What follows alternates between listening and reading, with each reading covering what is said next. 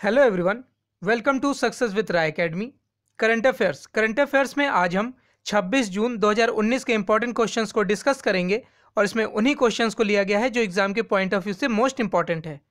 हर question के साथ आपको इंपॉर्टेंट फैक्ट्स भी बताए जाएँगे, जिसको आपको नोट करते हुए चलना है और वीडियो के लास्ट में आपसे एक क्वेश्चन पूछा जाएगा, जिसका आंसर आपको कमेंट बॉक्स के माध्यम से देना होगा।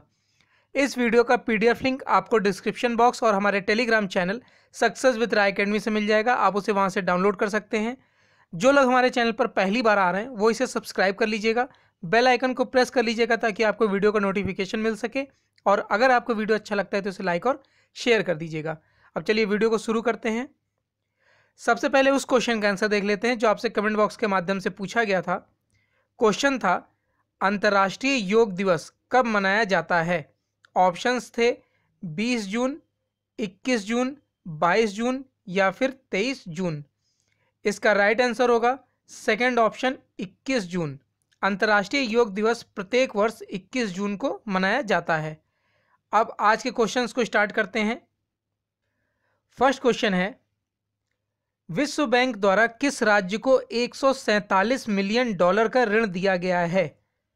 इसका राइट आंसर होगा सेकंड ऑप्शन झारखंड।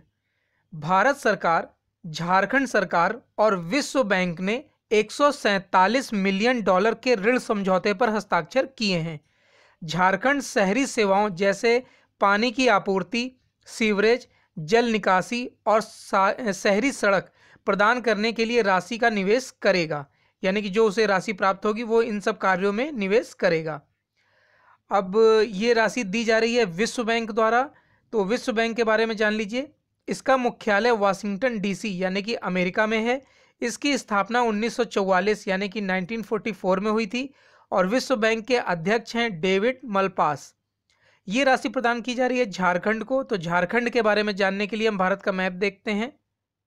देखिए, ये है भारत का मैप और इसमें झारखंड। ये है झारखंड।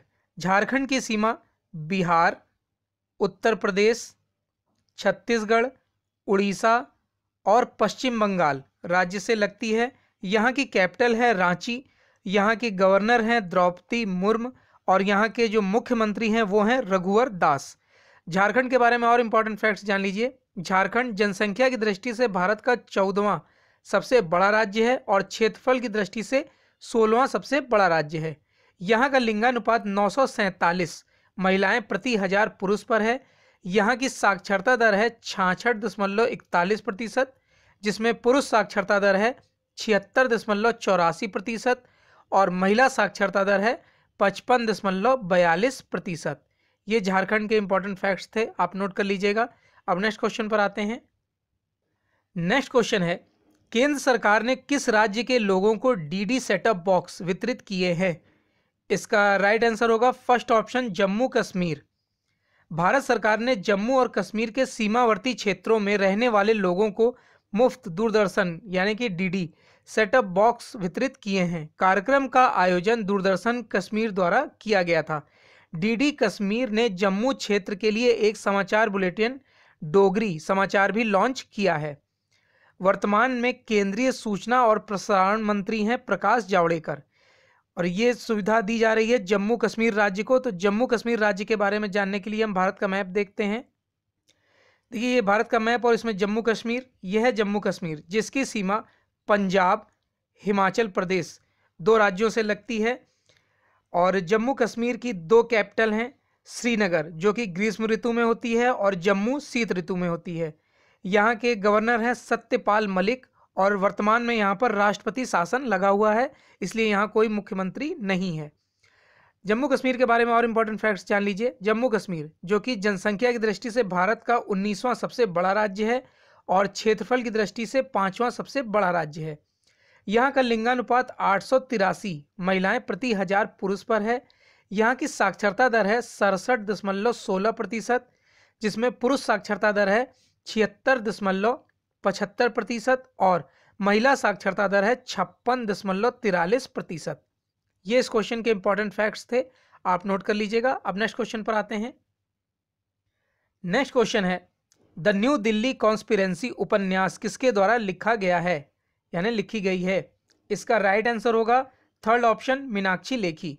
मीनाक्षी लेखी का पहला उपन्यास द न्यू दिल्ली कॉन्स्पिरेंसी जल्द ही प्रकाशित होगा और उन्होंने इसमें कृष्ण कुमार के साथ इसे लिखा है, यानी कि मदद ली है कृष्ण कुमार की। उपन्यास हार्पर कॉलिंस द्वारा प्रकाशित किया जाएगा। नेक्स्ट क्वेश्चन पर आते हैं। नेक्स्ट क्वेश्चन है, किसे आईसीएओ में भारत का प्रतिनिधि नियुक्त किया गया है? सबसे पहले आप आईसीएओ का फुल फॉर्म जान लीजिए। इसका फुल फॉर्म होता है इंटरनेशनल सिविल एविएशन ऑर्गेनाइजेशन। इसका फुल फॉर्म होता है। तो क्वेश्चन है, किसे आईसीएओ में भारत का प्रतिनिधि नियुक्त किया गया है? इसका राइट आंसर होगा फ़र्स्ट ऑप्शन सैफाली जुनेजा वरिष्ठ नौकरशाह सैफाली जुनेजा को संयुक्त राष्ट्र की संस्था इंटरनेशनल सिविल एविएशन ऑर्गेनाइजेशन की परिषद में भारत का प्रतिनिधि नियुक्त किया गया है। वह वरिष्ठ आईएएस अधिकारी आलोक शेखर का स्थान लेंगी। वर्तमान में सैफाली जुनेजा नागरिक उड्डयन मंत्रालय में संयुक्त सचिव के रूप में कार्य कर रही हैं।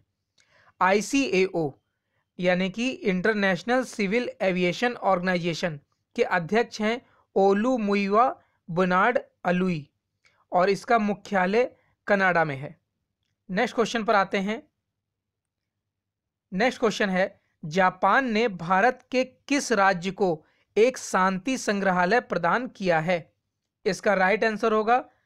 फ़र्स्ट इसका right answer second option Manipur.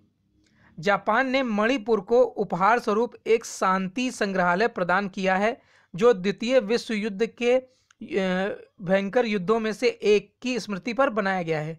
Manipur की राजधानी इम्फाल से लगभग 20 किलोमीटर दक्षिण पश्चिम में लाल पहाड़ी पर इम्फाल शांति संग्रहालय के उद्घाटन में इम्फा, इम्फाल की लड़ाई की पचहत्तरवीं वर्षगांठ को भी चिन्हित किया गया है।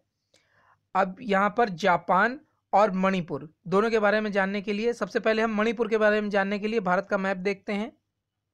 देखिए, ये है भारत का मैप और इसमें मणिपुर, ये है मणिपुर, जिसकी सीमा नागालैंड, असम और मिजोरम राज्य से लगती है। मणिपुर की कैपिटल है इम्फाल, यहाँ के गव, यहाँ की गवर्नर हैं नजमा हेप्तुल्ला और यहाँ के मुख्यमंत्री हैं एन वीरेंद्र सिंह। मणिपुर के और इम्पोर्टेंट फैक्ट जानिए। जनसंख्या की दृष्टि से मणिपुर भारत का चौबीसवां सबसे बड़ा राज्य है और जनसंख्या, क्षेत्रफल की दृष्टि से भी चौबीसवां सबसे बड़ा राज्य है। यहाँ का लिंगानुपात नौ सौ सत्तानवे, महिलाएँ प्रति हज़ार पुरुष पर है। यहाँ की साक्षरता दर है छिहत्तर दशमलव चौरानवे प्रतिशत, जिसमें पुरुष साक्षरता दर साक्षरता दर है तिरासी दशमलव अट्ठावन प्रतिशत और महिला साक्षरता दर है सत्तर दशमलव छब्बीस प्रतिशत। अब जापान के बारे में जानने के लिए वर्ल्ड मैप देखते हैं। यह है वर्ल्ड मैप और इसमें जापान, ये है जापान। जापान की कैपिटल है टोक्यो, यहाँ के प्रेसिडेंट हैं सिंजो अबे और यहाँ की करेंसी है येन। अब नेक्स्ट क्वेश्चन पर आते हैं। नेक्स्ट क्वेश्चन है, आईओसी, यानी कि इंटरनेशनल ओलंपिक कमेटी, ने अपना नया मुख्यालय कहाँ खोला है? इसका राइट आंसर होगा थर्ड ऑप्शन स्विट्जरलैंड अंतर्राष्ट्रीय ओलंपिक समिति ने औपचारिक रूप से ओलंपिक खेलों को पुनर्जीवित करने के ठीक 125 वर्ष बाद स्विट्जरलैंड में नया मुख्यालय खोला है। और ये मुख्यालय खोला गया स्विट्जरलैंड में तो स्विट्जरलैंड के बारे में जानने के लिए वर्ल्ड मैप देखते हैं। देखिए, ये है वर्ल्ड मैप और इसमें स्विट्जरलैंड ये है स्विट्जरलैंड स्विट्जरलैंड की कैपिटल है बर्न यहाँ की करेंसी है फ्रैंक और यहाँ के प्रेसिडेंट हैं ओइली मावरूर यहाँ के प्रेसिडेंट हैं। और जो अगला ग्रीष्मकालीन ओलंपिक होने वाला है, वो 2020 में टोक्यो यानी कि जापान की कैपिटल में आयोजित होगा। नेक्स्ट क्वेश्चन है lessons life taught me unknowingly किसकी आत्मकथा है? इसका राइट right आंसर होगा फोर्थ ऑप्शन अनुपम खेल। बॉलीवुड अभिनेता अनुपम खेर अपनी आत्मकथा प्रकाशित करने वाले हैं और अनुपम खेर भारतीय फ़िल्म उद्योग में सबसे अधिक प्रसिद्ध अभिनेताओं में से एक हैं, जिन्होंने भारत और पश्चिम भारत और पश्चिमी जो दोनों में कई भाषाओं में यानी कि 530 से अधिक फ़िल्मों में अभिनय किया है। नेक्स्ट क्वेश्चन पर आते हैं। किस वर्ष तक वैष्णो देवी मंदिर के लिए आपदा प्रतिक्रिया बल तैयार किया जाएगा? इसका राइट आंसर होगा फ़र्स्ट ऑप्शन 2020 धार्मिक तीर्थ स्थल माता वैष्णो देवी मंदिर को सितंबर 2020 तक एक समर्पित गृह आपदा प्रतिक्रिया बल मिल जाएगा। श्री माता वैष्णो देवी मंदिर बोर्ड धर्मशाला धर्म स्थल के लिए समर्पित आपदा प्रतिक्रिया बल तैयार करने के लिए 180 कर्मचारियों को प्रशिक्षित किया जाएगा। यह अपनी आपदा तैयारियों के हिस्से के रूप में एक इमरजेंसी ऑपरेशन सेंटर भी स्थापित करेगा। अब आज का क्वेश्चन जिसका आंसर आपको कमेंट बॉक्स के माध्यम से देना है क्वेश्चन है आरबीआई आरबीआई के किस डिप्टी गवर्नर ने अपने पद से इस्तीफा दे दिया है?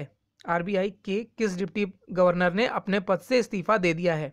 ऑप्शंस हैं एम जैन वीपी कानूनगो विरल आचार या फिर एन एस विश्वनाथन ये आज के, यानी कि 26 जून 2019 के इंपॉर्टेंट करंट अफेयर क्वेश्चंस थे।